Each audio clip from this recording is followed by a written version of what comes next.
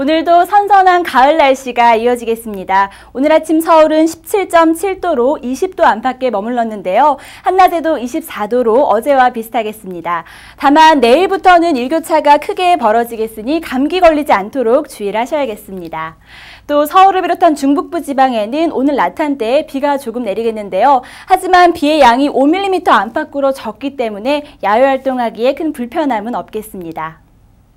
현재 중부와 호남 지방을 중심으로 구름 많은 가운데 경기 남부 지방에는 약하게 비가 오는 곳이 있습니다.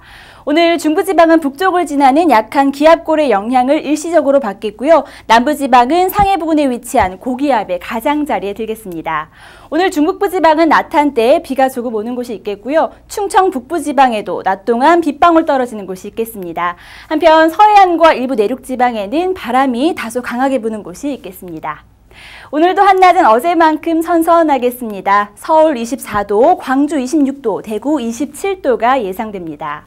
물결은 전해상에서 0.5에서 2m로 잔잔하게 일겠습니다. 또 오늘까지 남해와 서해안에서는 바닷물의 높이가 높은 기간입니다. 해안 저지대에서는 만조시 유의하셔야겠습니다.